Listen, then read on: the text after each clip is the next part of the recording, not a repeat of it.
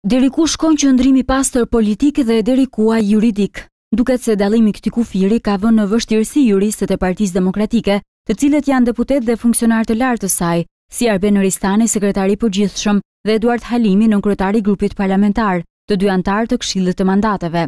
Mbrëmja e së martës u shoqërua nga qëndrime kontradiktore në artikulimin publik të demokratëve në lidhje me çështjen e mandatit të deputetit Mark Frroku, prej më së gjashtë muajsh i arrestuar dhe mungues në Kuvend.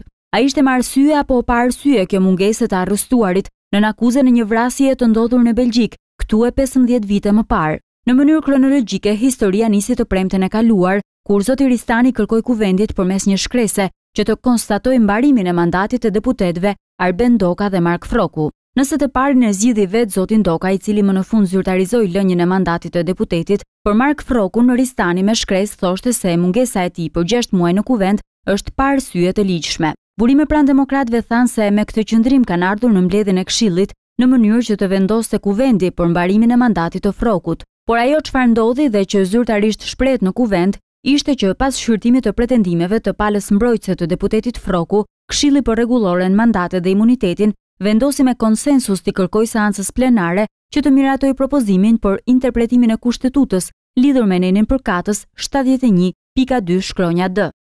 Ristani e pohoi si opsion të drejtë në logjikë juridike, një hap mbrapa në fakt nga pozicioni në shkresën e tij, tek qartazi e konsideronte pa arsye mungesën e Frrokut për 6 muaj në Kuvend.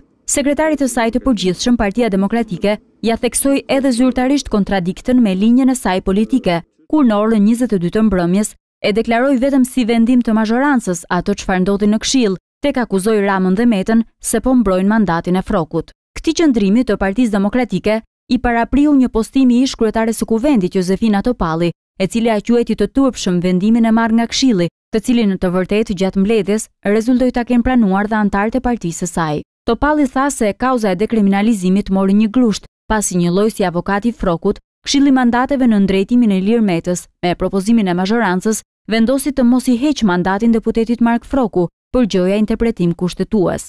Gjykata Kushtetuese, thotë ajo, nuk mund të shprehet pa pasur para një vendim të Kuvendit për mandatin, ndaj sipas saj, Këshilli lau duart si Pilati. A u kompleksua Partia Demokratike nga ky qëndrim i zonjës Topalli, apo thjesht kthjellimi erdhi pasi doli në pah mungesa e koordinimit për linjën që do t'i qëndrohej deri në fund? A ishte ky nga ato raste kur kërkon logjikë politike apo juridike? Kjo mbetet një çështje mes demokratësh, por dukshëm për të, Ristani nuk ka dëshirë të flasë.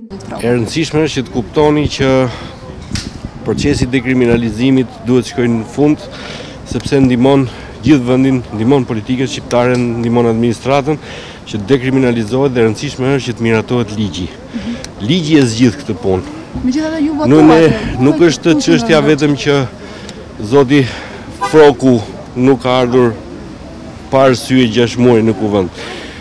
në tërësi çështjen e zgjidh miratimi i ligjit, në mënyrë që njerëz të inkriminuar, njerëz që dyshohen për krime të rënda, njerëz që janë akuzuar për krime të rënda si vrasje, prostitucion e të tjerë, të mos mund të jenë pjesë e politikës shqiptare. Kjo është zgjidhja. Dhe çështjen e mandateve Gjykata e Burime pranë Partisë Demokratike thanë se njoftimi zyrtar i saj, disa orë pas mbledhjes së Këshillit të Mandateve, do të jetë qëndrimi i saj politik në seancën plenare për këtë çështje. Vota pro apo kundër mandatit të Frrokut është votë pro ose kundër mazhorancës për dekriminalizimin, deklaron ajo.